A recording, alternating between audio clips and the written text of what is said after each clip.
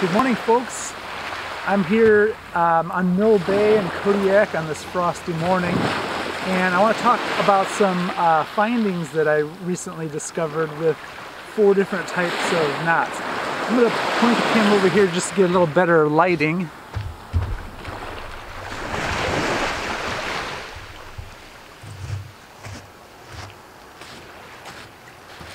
Yeah, that should be better. So I got my handy dandy rope here. Yeah, I was, I was tying four different um, bends and I noticed some uh, similarities with each other and I wanted to share these with you. So I'm gonna stand over here and you can just kind of look over my shoulder. Okay, so as you know, if you form a six like this, and then you form a nine like this with the tag ends on the outside. Then if you overlap them like this and tuck, tuck the ends through, you'll have the Zeppelin bend. So this will go into here and this will go into here. And, and this is a pretty common knot is the Zeppelin bend.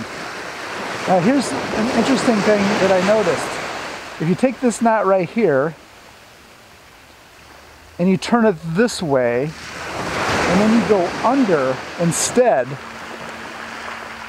and you put these together, and then you do the same thing like that, then you have the hunter's bend.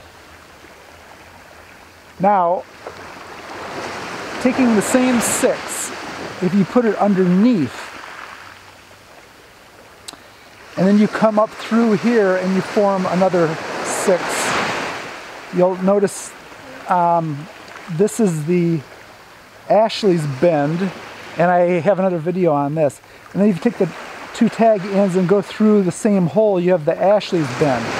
Now another knot that is similar, now check this out. If you take this and you rotate it like this, and then you put the tag end on this side, and then you go down, now you have the alpine butterfly bend.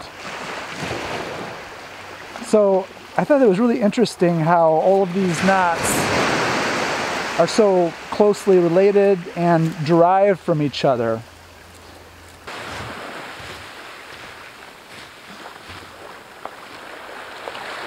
At any rate, I thought those were some pretty interesting observations and I'd like to hear your thoughts on it as well. So um, please like, comment, and subscribe. And I'll talk to you later.